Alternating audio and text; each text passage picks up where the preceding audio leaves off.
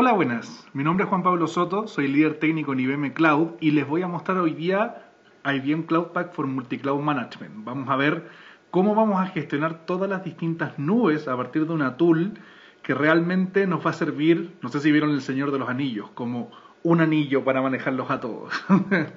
Entonces, ¿dónde queremos partir? ¿Dónde queremos comenzar? Queremos ver primero todos los ambientes que tenemos disponibles. Vamos a tener muchas clouds a disposición, vamos a tener todas las clouds de todos los vendors que ustedes conocen, de hecho las vamos a ver ahora en un segundo, pero también vamos a ver todos nuestros data centers. Vamos a tener nuestros on-premise, vamos a tener nuestros on-premise ya sea basados, por ejemplo, en VMware, en OpenStack o directamente conectados a algún servidor empresarial de IBM, lo que ustedes tengan.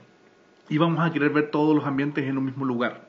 Luego vamos a querer aprovisionar desde el catálogo y vamos a querer manejar tanto las máquinas virtuales como las aplicaciones y poder moverlas de un lugar a otro. Para finalmente poder hacer gestión de la configuración basado en policies y mantener tanto las características de calidad como las características de seguridad de cada una de las cosas que desplegamos. Entonces, yo voy a ir primero haciéndoles una muestra acá eh, en, la, presentación de lo que vamos a ver y después yendo a la demo en cada una de las cosas. Entonces, partamos viendo la visibilidad de todos los ambientes. ¿Qué es lo que uno quiere? Tener un dashboard y tener un dashboard donde vea directamente todas las nubes. Entonces, acá ya estoy dentro de mi pantalla de IBM Cloud Pack for Multicloud Management. Si se fijan, tengo distintos proveedores de cloud. Aquí estamos conectados a un OpenShift, a un Google Cloud, a un eh, Amazon eh, Kubernetes y a un EKS. O sea, tenemos varios tipos de conexiones. Tenemos distintos tipos de clúster, aplicaciones, pero más allá tenemos aplicaciones basadas en containers. Acá podríamos tener máquinas basadas en, máquinas virtuales. Yo esto lo hice mucho más cloud native para, para esta demo. Eh, Aquí tenemos los proveedores de infraestructura directamente, cuántos clústeres tenemos, cuántos storage estamos ocupando, la virtual CPU, la memoria, etcétera. Es como una visión general de todo el panorama de las cosas de cloud que tenemos. Y finalmente, cuáles policies tenemos y cómo está nuestro compliance de policy. Entonces vamos a ir desagregando cada una de estas cosas. Primero, déjenme mostrarles eh, los distintos clústeres que tengo conectados para que ustedes puedan ver directamente lo simple que es tener en un mismo lugar y agregar la configuración de cada uno. Ahí está, si se fijan, la versión de Clusterlet con la que estoy trabajando y la versión de Kubernetes. Aquí si se fijan tengo un Kubernetes 1.11, 1.15, 1.15.10, 1.15.11, etcétera. O sea, no, esto con una herramienta voy a poder manejar distintas versiones de una vez. Si yo quisiera agregar un cluster, le doy importar y pongo el nombre del cluster y esto me genera un comando eh,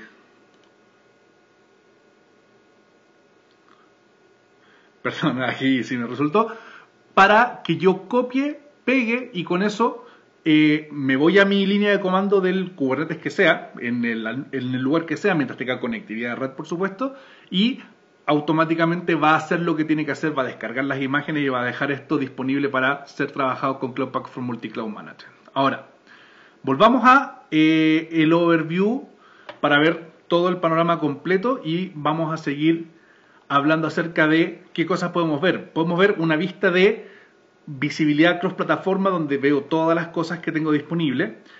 Voy a poder ver también un análisis en términos de monitoreo, consumo y todo lo necesario para poder trabajar y poder hacer el chairback y toda la gestión de costos que necesito. Y eso lo vamos a hacer dentro de la misma interfaz de CloudForms. Entonces, acá me voy a ir a la interfaz de CloudForms, lo voy a abrir acá en un tab para que no cerrar la otra venta.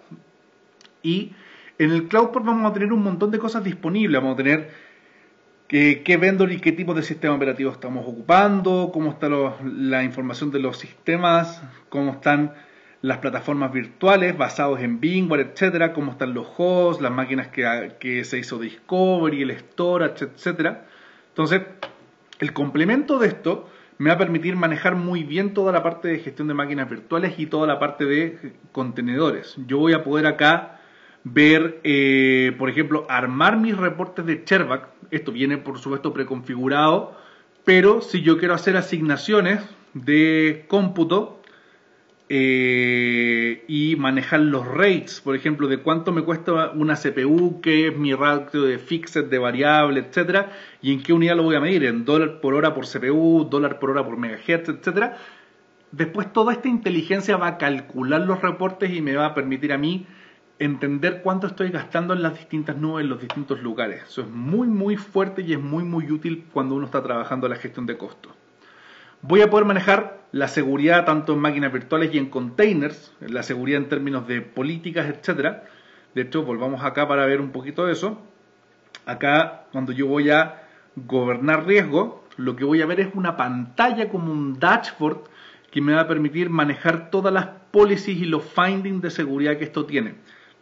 Nosotros tenemos estándares de seguridad como NIST, por ejemplo, y eh, sabemos que hay políticas que eh, que no cumplen estos ciertos estándares. Chequeo de, no sé, las versiones, de, qué manera presento los endpoints, cómo manejo mis llaves de seguridad, etcétera. Y yo acá puedo ver cualquiera de, eh, de, este tipo de cumplimientos que está viendo en, el, en, nuestro ambiente que están corriendo y puedo ir a ver las violaciones y ver en detalle cada una de las cosas. En este caso, este no tenía violaciones, me equivoqué acá de cluster, pero acá sí hay una violación, si se fijaron había un 1 de 2. Y voy a poder tener toda la descripción, veo que es en el cluster Credo Manager 2 y voy a poder ver el detalle de dónde esto está haciendo y me voy a informar. Está en denegar por otro NetSpace donde el mensaje es hay una network policy que falta y debería ser creada. Y con eso yo puedo trabajarlo y manejarlo directamente. De hecho, me sugiere acá un YAML para poder hacerlo. Entonces, hacemos la gestión. Este caso es Cloud Native, también funciona para el caso de máquinas virtuales.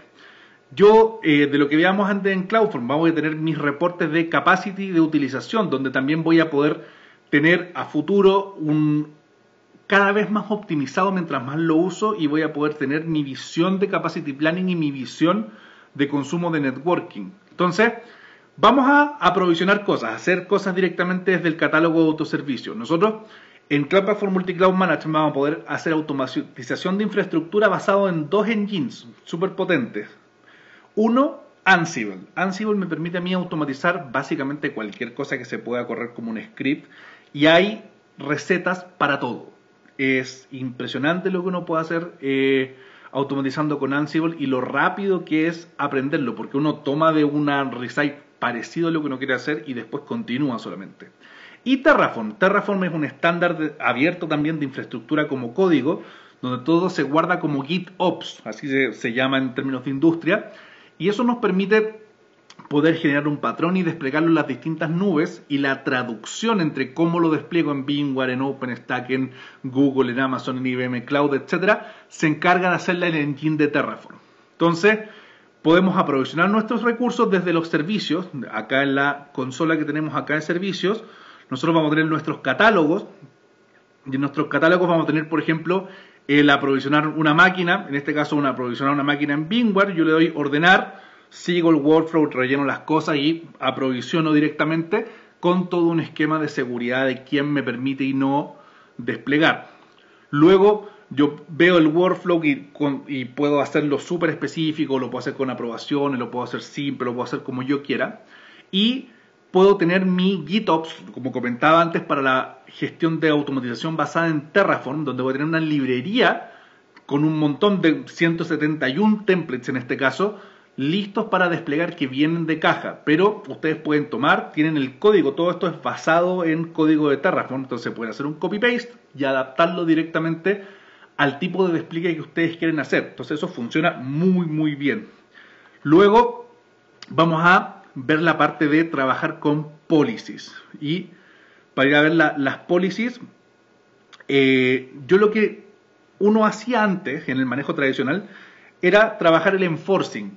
Uno definía que las máquinas tenían que correr una receta, metía en la CMDB un par de tickets cuando la persona que lo ejecutaba corría el reporte y así funcionaba, era bien eh, en demanda. Acá es vivo. ¿Por qué? Si no corrí el Recite Enforcing y la política no se deployó cuando desplegué mi máquina, mi container, mi aplicación Cloud Native o mi, o mi aplicación en máquinas virtuales, yo sé que no está cumpliendo la policy. Y eso es un problema que me va a saltar directamente acá. Entonces, hago un approach a la seguridad totalmente distinto y mucho más declarativo. Es mucho más eh, como acorde a estos tiempos. Entonces, eh, podemos manejar la configuración y poder revisar cada uno de los detalles eh, de lo que tienen las máquinas. Por ejemplo, a ver, vamos a ver acá. En Compute vamos a ir a las distintas cloud. Voy a ir a los providers. Voy a trabajar, por ejemplo, con AWS en este caso.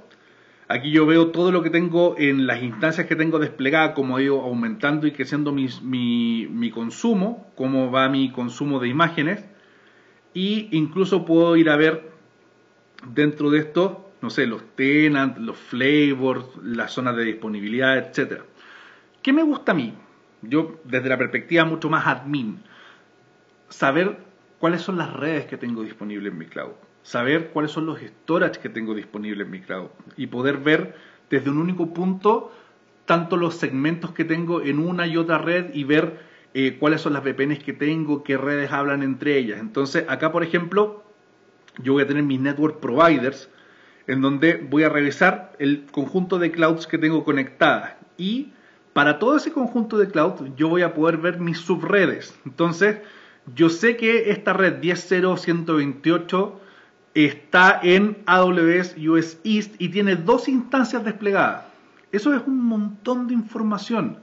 Cuando, por ejemplo, imagínense que tengo un ataque de DNS, yo veo cuál, es el origen, veo si no está en mi filtro de redes que pertenecen al cloud y listo, voy al firewall y la bloqueo. Esa información, tenerla centralizada en un único lugar, en un único repositorio, es fuertísimo y me permite una gestión que de otra manera sería imposible realizar. Mismo caso para el storage. Por ejemplo, yo puedo ver en mi blog Storage Manager dónde están todos mis storage de bloque y puedo ver dónde están los volúmenes y de qué manera tengo mis volúmenes de cloud, cuánto espacio tengo aprovisionado y después con el trabajo de tags, que es parte de la disciplina de trabajo en cloud, yo voy a poder hacer filtros y voy a poder buscar de una manera muy muy consistente para saber por ejemplo, quién me está ocupando estos petabytes que estoy pagando de storage todo el tiempo.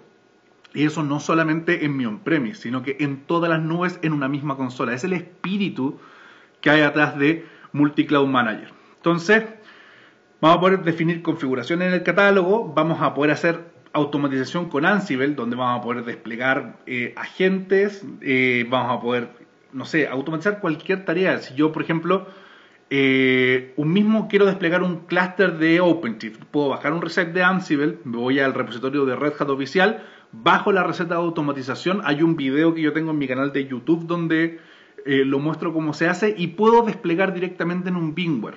Ese tipo de cosas súper hiper complejas están disponibles en como reset de Ansible y cosas mucho más simples como cómo hablo, no sé, eh, los puertos en un Squid, cómo configuro un DHCP, como eh, todo ese tipo de automatizaciones que uno normalmente realiza. Entonces, eh, el fondo, lo que yo quiero decir es que multi, Cloud Platform Multi-Cloud Management es como un anillo para manejar a todas las clouds que hay en todos lados.